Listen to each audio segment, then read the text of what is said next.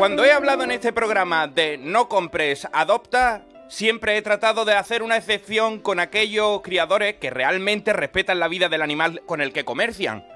Pero como cualquier cosa que deje dinerito en este mundo, surgirán trepas que intentarán beneficiarse de aquello que deja dinero, aunque se trate de seres vivos y en ocasiones incluso hasta de seres humanos.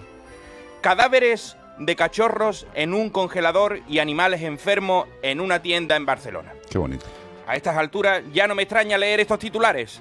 Además, la veterinaria contratada por el establecimiento no tiene título profesional convalidado en España y no está colegiada. A raíz de una denuncia de particulares que han comprado cachorros enfermos, la Guardia Urbana inspeccionó la tienda para garantizar si se cumplía la normativa de las instalaciones y los requerimientos de salud de los cachorros a la venta.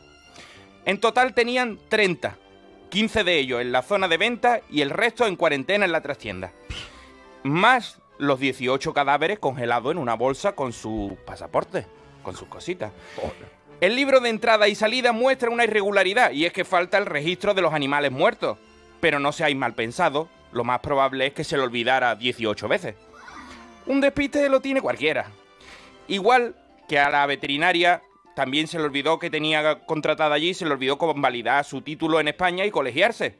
Lo que no se le olvidó era cómo poner los microchips.